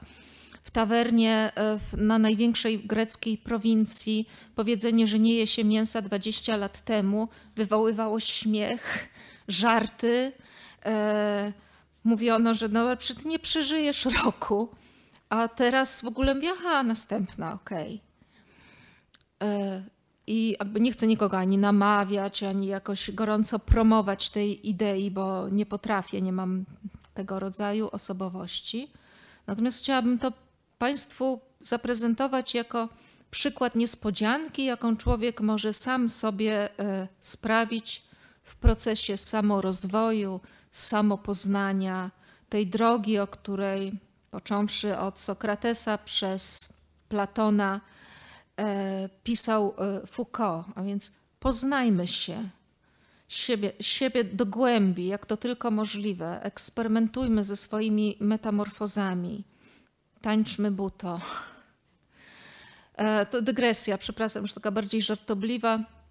Tam, gdzie byłam teraz w Grecji, jeśli moglibyście sobie wyobrazić Podhale, ale w Grecji na wyspie. To jest naprawdę najdalsza prowincja Grecji Mamy tam taką e, przyjaciółkę, którą od dwudziestu paru lat znamy i która e, mi i mojej przyjaciółce pożycza maty do jogi, e, z tym, że ja nie robię jogi, ja tańczę. I w momencie, kiedy ona zobaczyła sobie na YouTube, jak to wygląda, patrzyła na mnie naprawdę z czymś w rodzaju takiego wow. Czy ona naprawdę to jest bardzo, bardzo, bardzo dziwne. Więc mam, mam nadzieję, że tych z Państwa, którzy jeszcze nie widzieli spektaklu Buto, trochę zachęciłam. Będę miała jeszcze tylko dwa pytania, żeby już oddać e, za chwilę głos e, publiczności. E, nawiążę do wody, bo to kojarzy się jak najbardziej z wyspą. Konkretniej o różne ujęcia wody w Pani tekstach. Berta Koch marzy o tropikalnym, wilgotnym lesie, a koszmarem Barbary, ale też Jadwigi są wody pełne martwych ryb. Jedna z bohaterek ucieczki niedźwiedzicy właśnie tańczy buto na gliniankach. Woda jest tematem rzeką, ale czy mogłaby Pani chwycić teraz jedną dowolną odnogę i coś więcej opowiedzieć? To jest pierwsza moja tęsknota. Pierwsza tęsknota, którą potrafię retrospektywnie zidentyfikować, to jest morze. Zawsze w stronę morza. Jest taka opowieść rodzinna o tym, jak pierwszy raz zobaczyłam morze, to był Bałtyk i dostałam czkawki, która trzymała mnie przez cały dzień. Z zachwytu dostałam czkawki. I y, morze, skupmy się na tej wodzie, jest dla mnie jest dla mnie wszystkim, co ważne, jednocześnie skłania do kontemplacji, czyli do takiej chwili, jak ta e, w łódce, o której pisze Rousseau w piątej przechadzce, i jest wyzwaniem, żeby ruszyć za horyzont. W tym sensie morze jest dla mnie e, wszystkim. Kiedy przyjeżdżam nad morze, e, czy to jest nasz Bałtyk, czy to Morze Karpackie, E, przez pierwszy dzień właściwie po prostu siedzę i gapię się na morze, tak jakbym się z nim na nowo witała. Morze jest w mojej krwi. I to jest chyba najważniejsze. Myślę, że te wszystkie inne wody są pochodną tego pierwszego morza, które ciągle jest żywe w moim umyśle. Taką książkę miałam w dzieciństwie. To też jest pierwsza książka, którą pamiętam, baśnie z dalekich wysp i lądów. I dużo tam było właśnie wysp. I wyspa jest takim moim idealnym, być może które zawsze pozostanie w sferze marzeń, miejscem do y, zamieszkania. E, miejsce ze wszystkich stron otoczone morzem.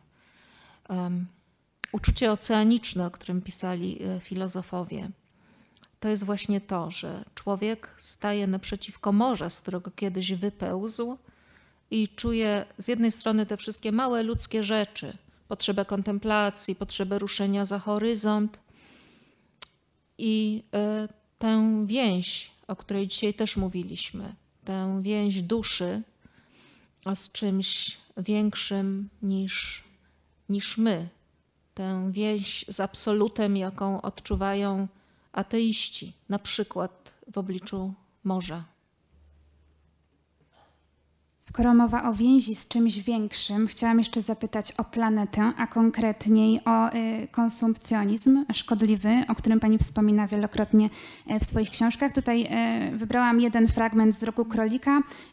Szybko postaram się przeczytać. Choinkowe ozdoby były tym, co można wygrzebać na śmietniku i co wyrzuci rzeka. Zużyte sztuczne kwiaty w najdzikszych kolorach, szklanki, pojemniki po zniczach, niechciane aniołki z brakującymi skrzydłami, a niekiedy nawet bez głów, srebrne samochodowe dekle, pluszowe zabawki, strzeżały od słońca i deszczu, plastikowe owoce, pogubione przez wędkarzy przynęty, kawałki sznurka, wstęgi z napisami wieczny odpoczynek naszemu skarbowi, kochanej żonie, drogiemu prezesowi i tak dalej, i tak dalej, bo ten fragment jest dosyć długi. Dwie lalki o długich, chudych ciałkach powieszone obok siebie za włosy klucze, kłódki, mnóstwo kłódek. E, kłódki stanowią tutaj ważny symbol, bo podkreślają, jak bardzo jesteśmy uwięzieni w konsumpcyjnym świecie. E, czy wierzy Pani, że osoba pisząca, e, podejmująca tematy środowiskowe w swoich dziełach ma realny wpływ na przemiany społeczne albo je inicjuje? Tak ogólnie wierzę, jak wspominałam w tym wykładzie i w poprzednich, że literatura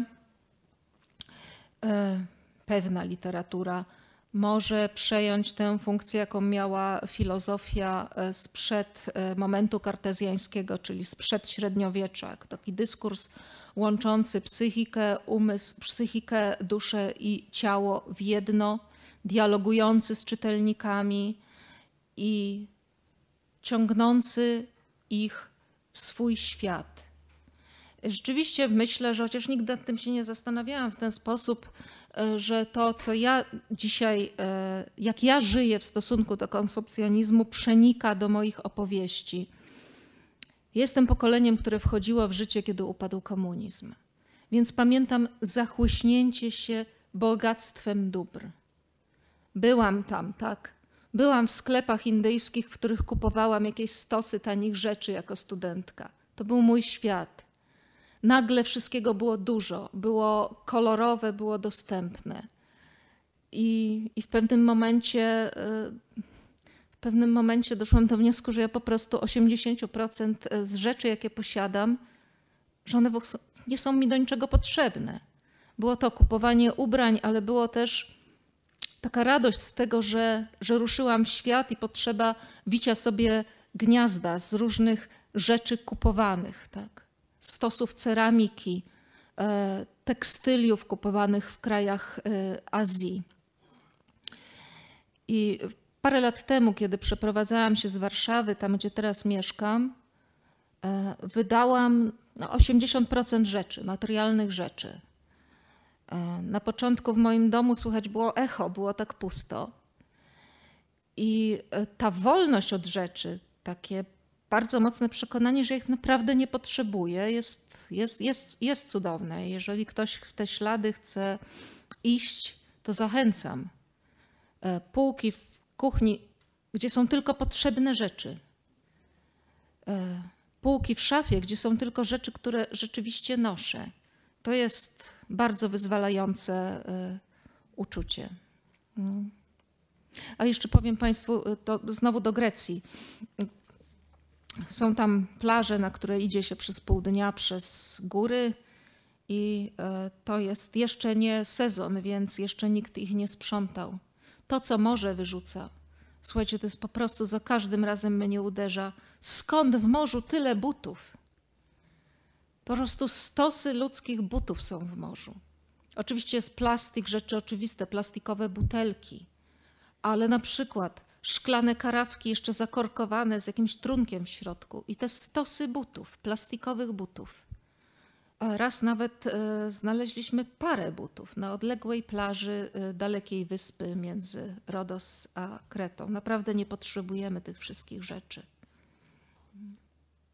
Dziękuję bardzo i zapraszam publiczność do zadawania pytań. Ja najpierw e, bardzo krótko powiem, że jestem przeszczęśliwy, że mogę tutaj być i słuchać. Nie byłem niestety na dwóch pierwszych wykładach, bo nie mogłem, ale to, co usłyszałem dzisiaj, to jest e, naprawdę uczta intelektualna i e, połączenie takiej języka, przepięknego języka z, no, z wielkim wykształceniem. E, poczułem się w pewnym momencie jak na takim klasycznym literackim wykładzie w Cambridge ale teraz... Angielski byłby gorszy. ale ale to, jest, to jest jakość. E, jesteśmy przyzwyczajeni do dzisiaj, dzisiaj do prezentacji multimedialnych, które głównie porządkują propedeutycznie, a, a dzisiaj mieliśmy do czynienia z takim no, pogłębioną refleksją i to jest rzecz, która jest bezcenna absolutnie. Ale chciałbym zapytać e, o dwie rzeczy. E, użyła e, Pani określenia kogito marzycielki, a jednocześnie mówiła Pani o tańcu. Pojawiło się też w pytaniu Angeliki pytanie o ciało.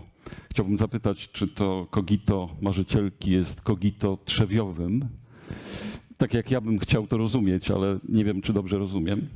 I to jest jedna rzecz. I druga rzecz, muszę powiedzieć, że y, chciałbym y, zostać wyprowadzony z konfuzji trochę, bo z jednej strony jestem pod wrażeniem y, Puro Zento i kintsugi jest związane z wabi sabi. Ja nie, nie mam pojęcia, czy ja dobrze wymawiam wabi. Sabi. Wabi sabi, okej. Okay. Więc wabi sabi a troska to znaczy takie buddyjskie let it go, puść, e, nie bądź przywiązanym, a jednocześnie troska.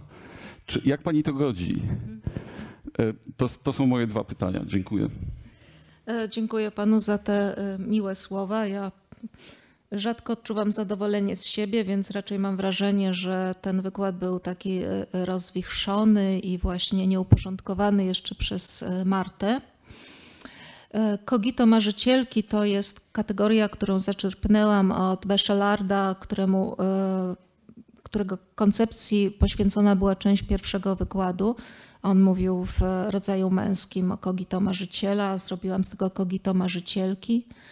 I ono jest tak, ono jest trzewiowe i ono jest symboliczno-semiotyczne. E, Jest to kogito, które ma dostęp do mm, języka symbolicznego, którym posługujemy się w naszym codziennym i zawodowym życiu, a także do języka sprzed tego, co symboliczne, o czym pisała Julia Kristewa, czyli do języka em, kontaktu z tym pierwszym matczynym ciałem, języka emocji sprzed, tych emocji, które później e, marzycielka może wyrażać tańcząc buto. Także jak najbardziej jest, jest krwiste, trzewiowe, mięsne, cielesne.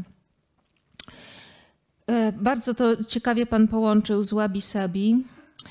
E, I tu strasznie dużo mi przychodzi do głowy, to takie jakieś pożywne było. E, Ale dobra, zacznijmy od materii, zanim przejdziemy do ducha.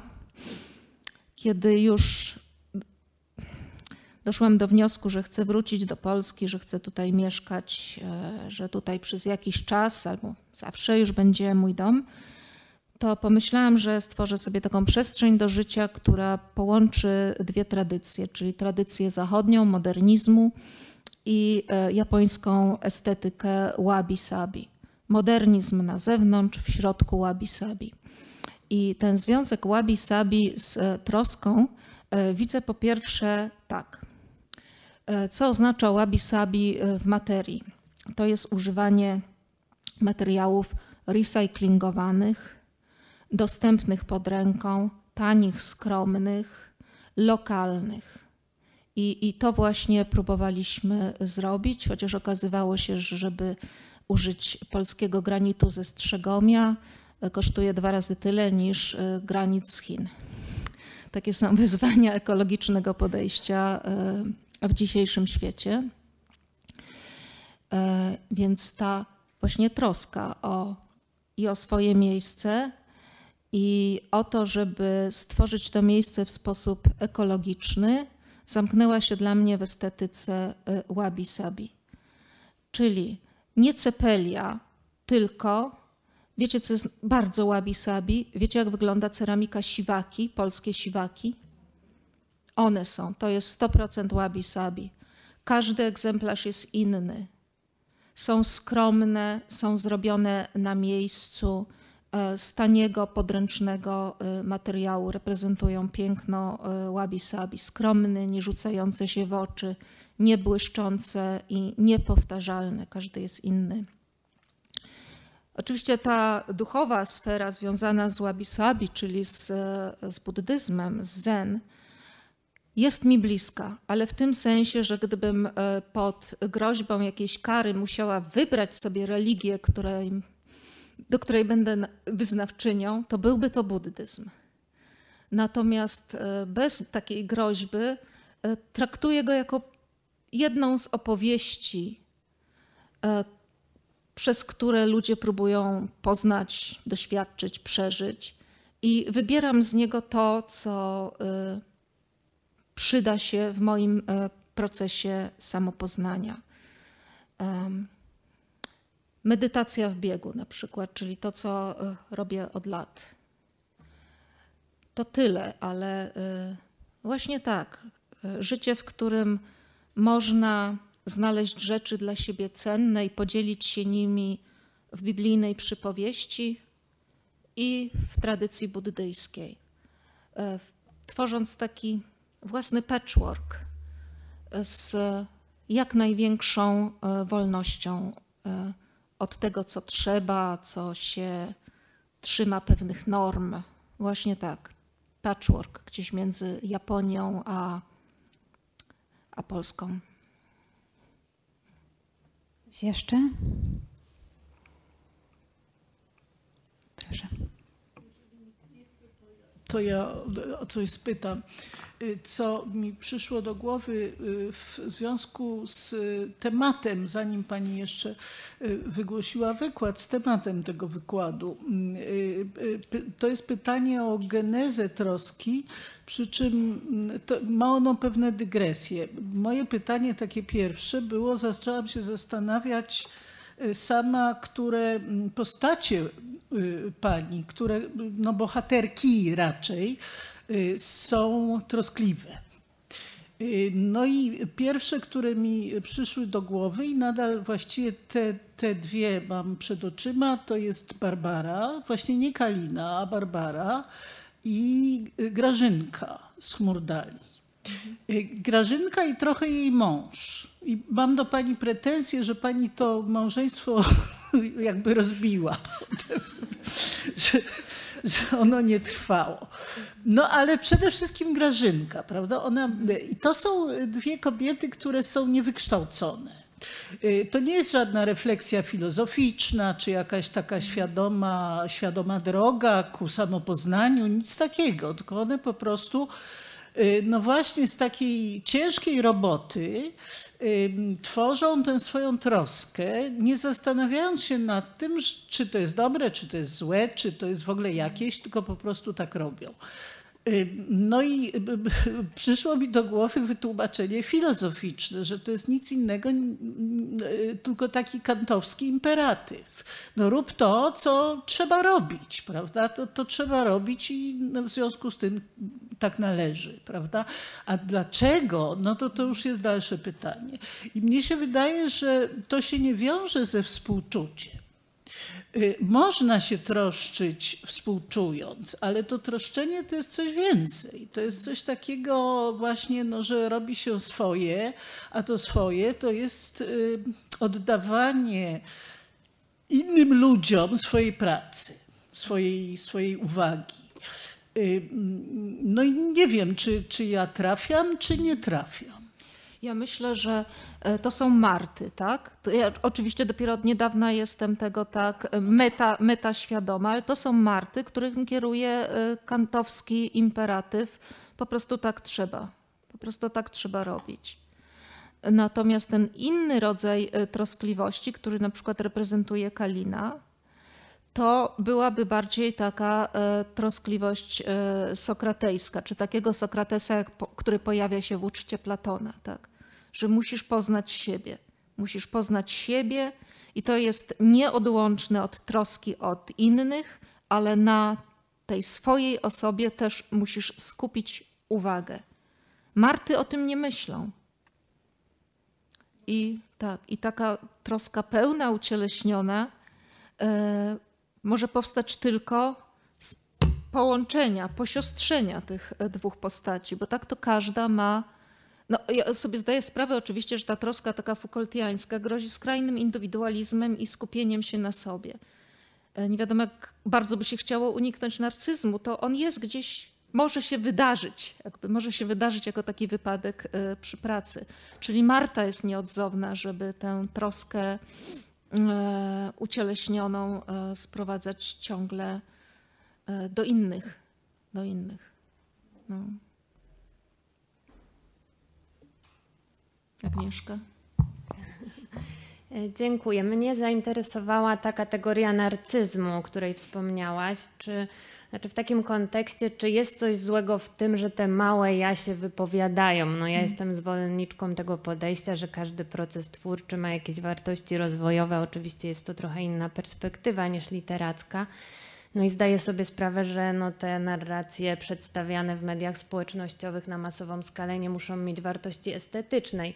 No ale czy jest złego coś w tym, że, że one są, że istnieją? No bo jest trochę dużo takiej krytyki, takiej wręcz nagonki na osoby, które gdzieś zaczynają pisać, że może nie powinny tego publikować i, i właśnie, że to powoduje ten taki chaos i, i jakby no dokładanie się do tego wirtualnego śmietniska. Z jednej strony jest to negatywne, no ale ja z drugiej strony zastanawiam się, czy rzeczywiście powinniśmy to krytykować i czy nie byłoby nawet gorzej, gdyby te małe ja, mające dość ograniczone perspektywy, zaczęły wypowiadać się na skalę, nie wiem, społeczną oferować jakieś interpretacje duże na temat tego, co my wszyscy powinniśmy robić. Czy z dwojga złego już nie lepiej, jak te osoby gdzieś tam po, poprzestają na tych swoich indywidualnych doświadczeniach?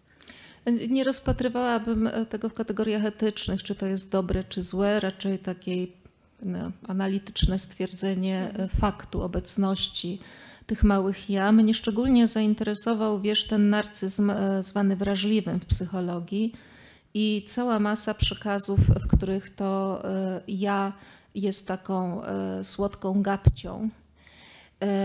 I tak, uważam, że skupmy się teraz na literaturze, która ma takie narratorki. Ja nigdy nie potępiałam, czy jakoś nie wyżywałam się na popularnej, obyczajowej literaturze, bo myślę, że ma ważną funkcję, jest potrzebna, co nie znaczy, że muszę ją czytać. E, e, ale uważam, że wiesz co, bo to jest tak, że jak jakaś osoba zaczyna pisać książki, w których jest urocza, narcystyczna gapcia, to potem wydawcy będą ją piłować, żeby pisała książki, w których jest narcystyczna, urocza gapcia.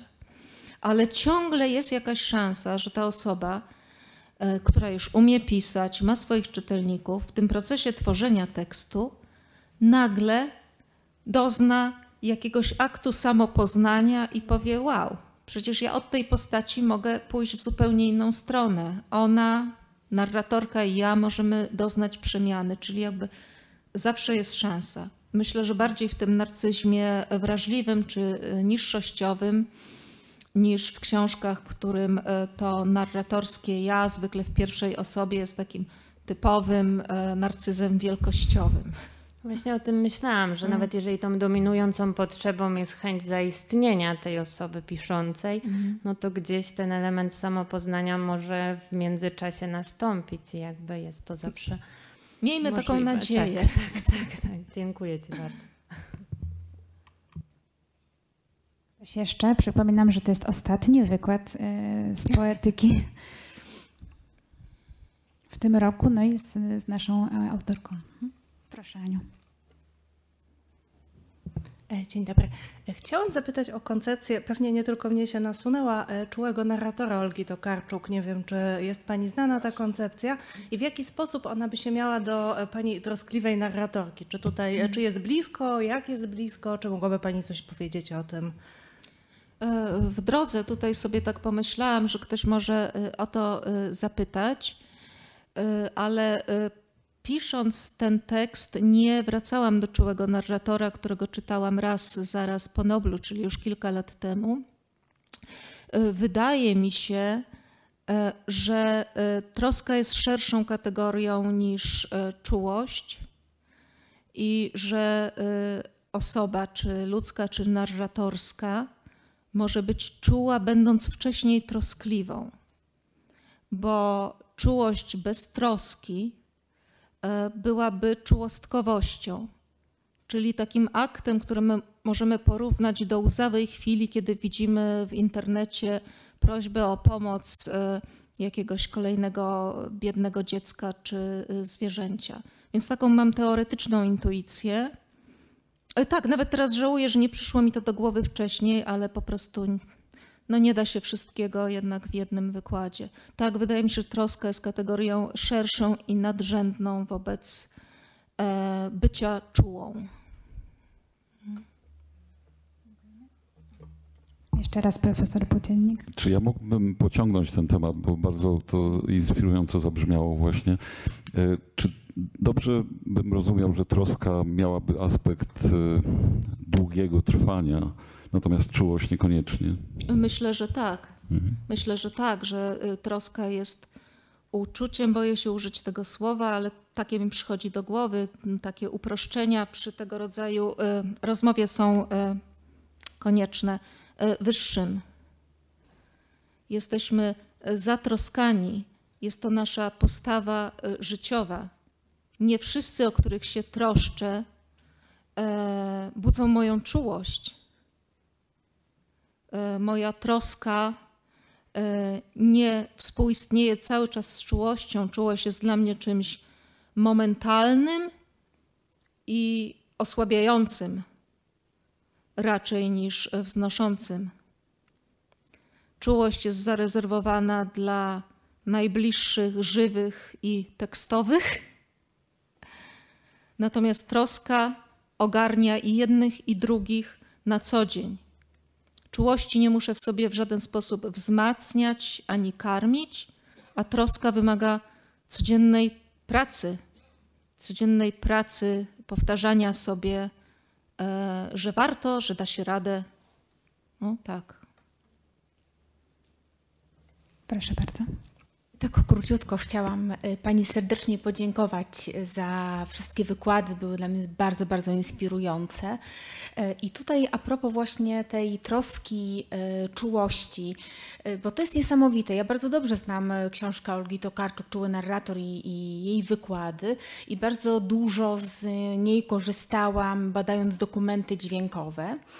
E, ale w ogóle mi nie przyszła ta książka i ta kategoria do głowy, gdy, słyszałam, gdy słuchałam Pani wykładu dzisiaj. E, sama jestem tym zaskoczona. Natomiast... No, e, mnie, przepraszam, że Pani przerwam, mnie nie przyszła, więc coś w tym musi być, tak? Od razu nie przyszła mi do no głowy. No właśnie i tutaj Pani wywołała i mówię, matko, faktycznie. Mhm. Natomiast to, co Pani mówiła o, o trosce, o bohaterach swoich, absolutnie dołożyłabym do, jeżeli już pojawiło się to słowo czułość, to ono tutaj było byłoby dla mnie nierozerwalnie związane z kategorią uważności e, na, nie na siebie, uważności na świat, na drugiego człowieka, na historie, które w życiu poznaje. I to jest właśnie ta, ta troska, która wiąże się także z opowiadaniem przeszłych historii. Mm. O właśnie to, co Pani powiedziała, że czułość jest tu i teraz, a, mm, a troska jest sięganiem do przeszłości albo nawet czasem nadawaniem tożsamości ludziom, których już nie ma.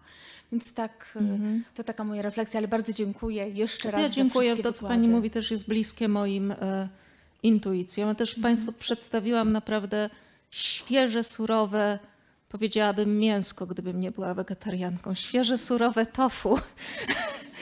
E, I te Wasze uwagi mm, są dla mnie bardzo cenne. E, na przykład te z poprzedniego wykładu wniosły coś e, do tego.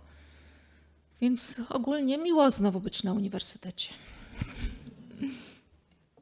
Czy mamy jeszcze jakieś pytania?